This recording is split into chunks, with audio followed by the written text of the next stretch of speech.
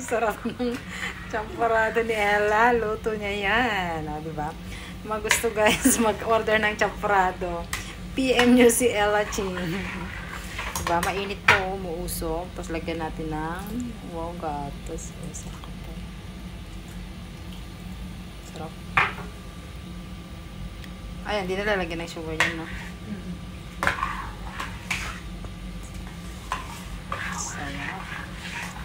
Wala, kainan na.